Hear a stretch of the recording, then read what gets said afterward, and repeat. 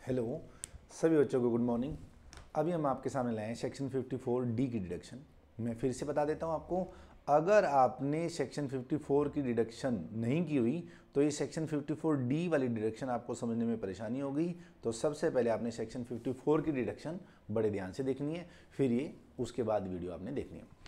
Section 54 D क्या कहता है? अगर आप कोई भी लैंड बिल्डिंग बेचते हो, जो यूज़ हो रही थी, इंडस्ट्रियल अंडरटेकिंग के लिए और 24 मंथ और मोर यूज़ हो रही थी। कोई भी लैंड एंड बिल्डिंग जो इंडस्ट्रियल अंडरटेकिंग के लिए यूज़ हो रही है 24 मंथ उसको यूज़ करते हुए हो चुका या मोर देन 24 मंथ हो चुके, आप ऐसी लैंड एंड बिल्डिंग को क्या कर रहे हैं जी? सेल कर रहे हैं और इसको सेल करके ऐसी लैंड एंड बिल्डिंग खरीद रहे हैं जो इंडस्ट्रियल अंडरटेकिंग के काम आएगी। तो आपको सेक्शन 54 डी की डिडक्शन मिलेगी सर फिर बिज़नेस तो कोई भी कर सकता है। मैंने कहा तो ये डिडक्शन सब के लिए एनी असेसी देखो क्या लिखा हुआ है एनी असेसी इससे पहले जो डिडक्शंस थी, वो डिडक्शन थी घर रेजिडेंशियल हाउस बेचकर रेजिडेंटल हाउस खरीदा। मैंने कहा रेजिडेंटल हाउस तो इंडिविजुअल और एचयूएफ रख सकता है। फिर हमने बात करी एग्रीकल्चर लैंड बेचकर एग्रीकल्चर लैंड खरीदने की। फिर मैंने कहा एग्रीकल्चर लैंड तो इंडिविजुअल और एचयूएफ रखता है। लेकिन भैया इंडस्ट्रियल अंडरटेकिंग तो कोई भी एसएससी कर सकता है। तो इसलिए गवर्नमेंट ने भी कहा कि अगर आप कोई भी एसएससी हो तो हम डिडक्शन भी कोई भी एसएससी को दे देंगे। मतलब सोल ट्रेडर अगर लैंड बिल्डिंग बेचता है तो भी डिडक्शन मिलेगी, HUF बेचती है तो भी डिडक्शन मिलेगी कंपनी बेचती है तो भी सेक्शन फिफ्टी डी की क्या मिलेगी? जी डिडक्शन आपने बेचना क्या है? लैंड बिल्डिंग जो इंडस्ट्रियल अंडरटेकिंग के लिए यूज़ हो रही है। खरीदना क्या है? लैंड बिल्डिंग और उस लैंड बिल्डिंग का भी क्या करोगे? इंडस्ट्रियल अंडरटेकिंग के लिए यूज़ करोगे। फिर वही पुरानी बातें। ये जो नई लैंड एंड बिल्डिंग आपने परचेज करनी है, ये कितने दिनों तक परचेज कर सकते हो सर तीन साल तक। किसके तीन साल तक? डेट ऑफ़ सेल के डेट ऑफ़ सेल के तीन साल तक आप पहले आप इसको परचेज कर सकते हो।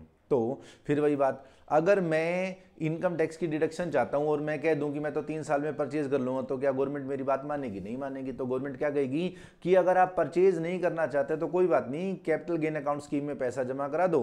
और बाद में परचेज कर लेना। आईटीआर डिपॉजिट कराने से पहले कैपिटल गेन अकाउंट स्कीम में जितना पैसा आप जमा करा देंगे, जितना अमाउंट आप उसमें जमा करा देंगे या इंडस्ट्रियल अंडरटेकिंग परचेज कर लेंगे, उतने रुपए की डिडक्शन आपको अकॉर्डिंग टू सेक्शन 54 डी मिल जाएगी।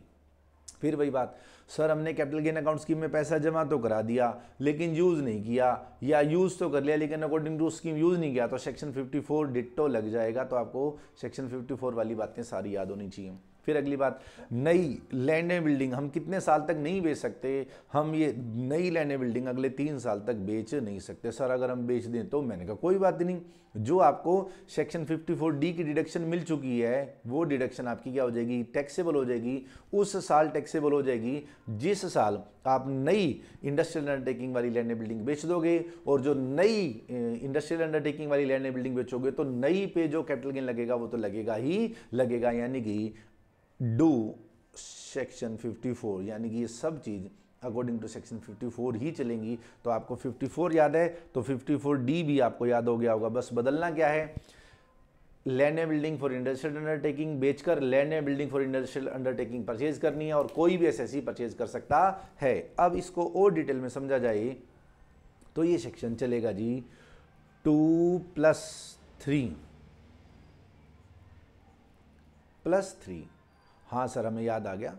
बिल्कुल सही बात है सर। ये थ्री इयर्स ये थ्री इयर्स ये टू इयर्स तो ये डिडक्शन भी आपको एट इयर्स तक ध्यान रखनी है। पुरानी, ये है मेरी डेट ऑफ़ सेल पुरानी इंडस्ट्रियल अंडरटेकिंग कितनी पुरानी होनी चाहिए? कम से कम 24 महीने. 24 महीने का मतलब दो साल.